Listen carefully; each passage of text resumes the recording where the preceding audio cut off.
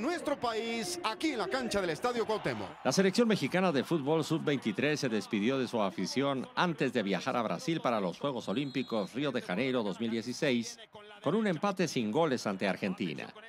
El Estadio Cuauhtémoc en la ciudad de Puebla fue el escenario del partido entre las dos escuadras.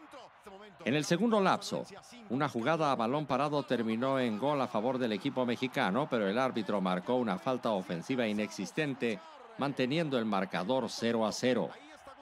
Antes del silbatazo final, los sudamericanos dieron muestra de desesperación ante el dominio mexicano, tras una dura entrada de Lautaro Gianetti para ver la tarjeta roja por doble amonestación.